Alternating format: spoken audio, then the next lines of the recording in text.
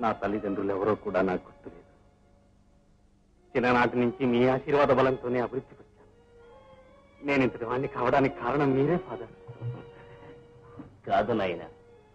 అన్నిటికీ కర్త ఆ పరమేశ్వరుడే.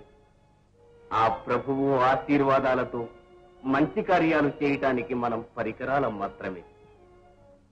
బిడ్డ కాంతివంతమైన నీ కీర్తి శాశ్వతంగా వెలుగొందుతూ మానవులలో న్యాయమూర్తి అనిపించుకుంటావు. దేవుడు నిన్ను సర్వదా కాపాడుగాక.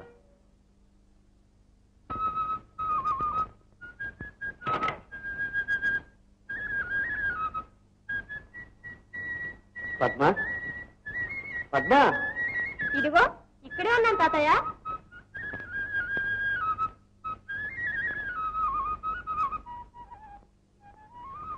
తాత చూడు ఎన్ని పూలు. ఈవేళ అన్నయ్య కంటే నేనే ఎక్కువ డబ్బులు సంపాదిస్తాను చూడు. నాకు తెలుసు కదమ్మా నువ్వు చాలా తెలివైన దానివని. ఆ, రవి రవి. అన్నయ్య ఇంకా రాలేదు తాత? తీసుకెళ్ళి మిఠాయి అంతా అమ్మితేనే గాని తిరిగి రాడుగా. ఓహోయ్ పిల్లలు! రండి రండి పిల్లల్లారా ముందుకు రండి. పాలపు కలబాబుల్లారా రుచి చూడండి. రండి రండి పిల్లల్లారా ముందుకు రండి. పాలపు కలబాబుల్లారా రుచి చూడండి. మన పెద్దలు ఈ మిఠాయి మహిమ తెలియలేక చెదిరి మన పెద్దలు ఈ మిఠాయి మహిమ తెలియలేక చెదిరి ధర్మాన్ని కాలదన్ని తగవులాట పెళ్ళి పెంచుకొనిది ధర్మాన్ని కాలదన్ని తగవులాట పెంచుకొనిది. తిన్నని మీ మనసుల్లో తీయదనం చేర్చుకోండి. తిన్నని మీ మనసుల్లో తీయదనం చేర్చుకోండి. తెలుగు జాతి గొప్పతనం దేశంలో తాతండు తీపి మిఠాయి. ఈ తెలుగు మిఠాయి. మూడు కోట్ల తెలుగు వాళ్ళు తినే మిఠాయి. భలే తేనె మిఠాయి తీపి మిఠాయి ఈ తెలుగు మిఠాయి.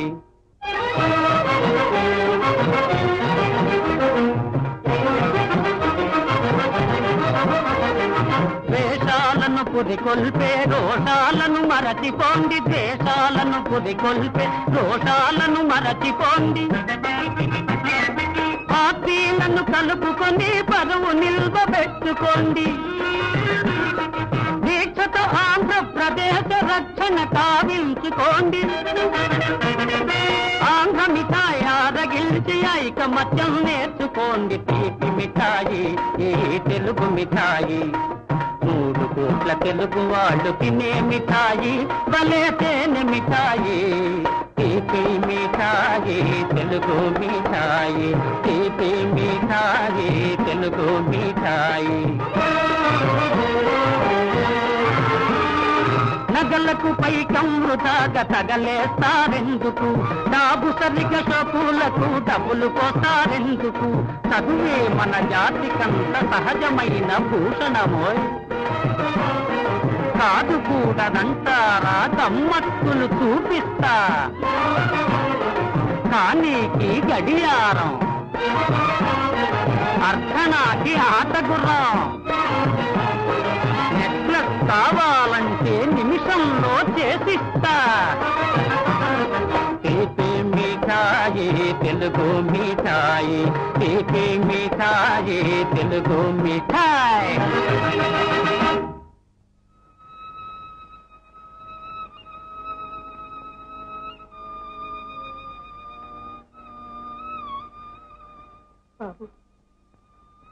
పది పదిహేను ఏళ్ళ క్రిందట.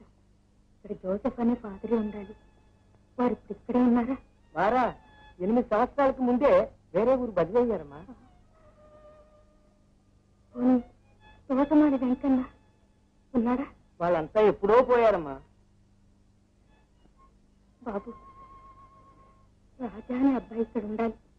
అతన్ని గురించి మీకు ఏమన్నా తెలుసా? ఆ పేరు గల వాళ్ళు ఎవ్వరూ లేరమ్మా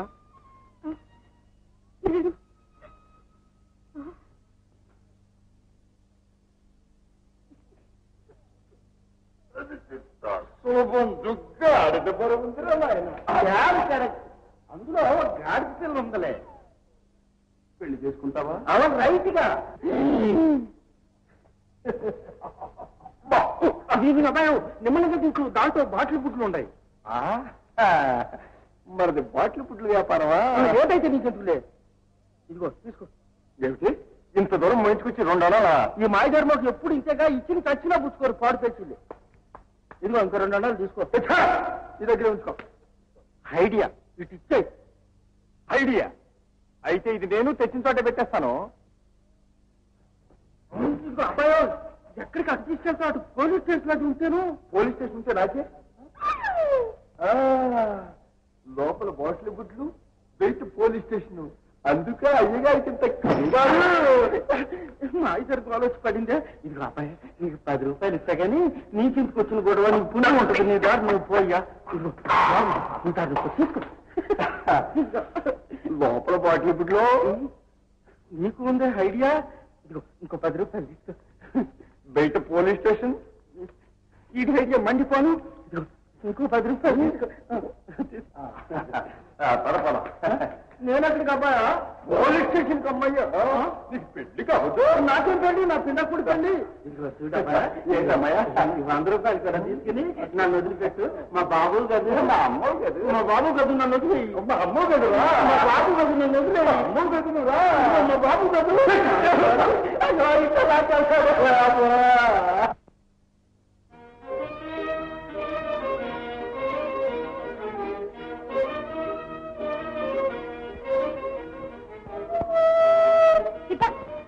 పాలు పెరుగంత నీ పట్టనే.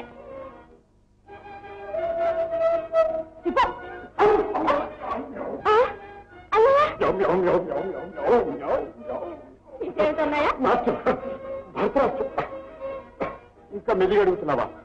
లేకపోతే మరి ఆ పాలు పోతులేంటి అన్నయ్య అదేమిటన్నయ్య?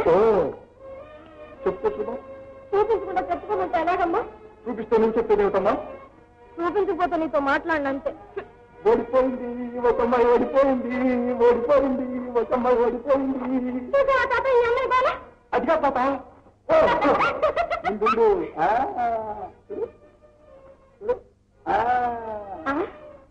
గాజులు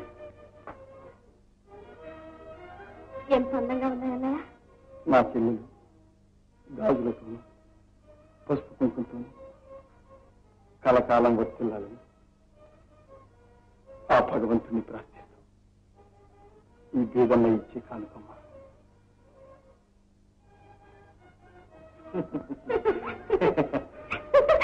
తాత తాత అన్నయ్య గాజులు తెచ్చాడు. ఇప్పుడు నా చేతులు ఎంత అందంగా ఉన్నాయో చూసావు తాత? నీ చేతులకు వేసుకోవటం వల్ల ఆ గాజులకి అందం వచ్చిందమ్మా. ఇప్పుడు వట్టి గాజులో తీసుకొచ్చాడు. నీ పెళ్ళికి బంగారం గాజులు తెస్తాడేమ్మా. అప్పుడే మురిసిపోతుంది పిచ్చి తల్లి మనలాంటి వాళ్ళకు బంగారపు గాజులు ఎక్కడి నుంచి వస్తాయమ్మా? చేయిస్తే సరే అవే వస్తాయి. బంగారం తినేంత సంపాదన ఉండదు బాబు. ఎలా సంపాదిస్తానో చూపిస్తాను రా తాత. రామరా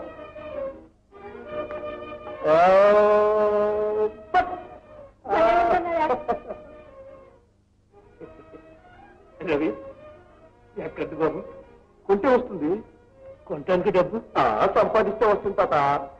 అదే ఎలా సంపాదించావు అని దానికంతా ఒక పెద్ద కథ ఉందిరే తాత.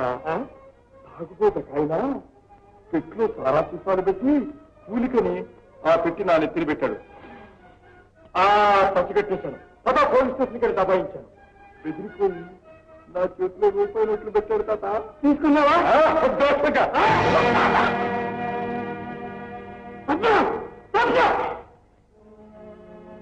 ఇలాంటి లంచగుండి ఈ వీలు లేదు. ఆ మహారాజు కడుపును పుట్టి చివరికి దానికి నేర్చుకున్న విద్య నీతిగా బ్రతకాలి చెడ్డ పనులు చేయకూడదని చిన్న నాటి నుంచి చిలక్కు చెప్పినట్టు చెప్పాను ఈ కదా పద్మ, పద్మ, ఆ పాపిచ్చి డబ్బుతో కన్నా ఆ గాజులు తీసి వాళ్ళ ముఖాలు పారాయి. పారేయమ్మా. పారేయమ్మా. ఆ గాజులో నేను కష్టించి సంపాదించిన డబ్బుతో కొన్నాను. చేసిన పనికి తోడు పైగా సమర్థించుకుంటున్నావా? లేదు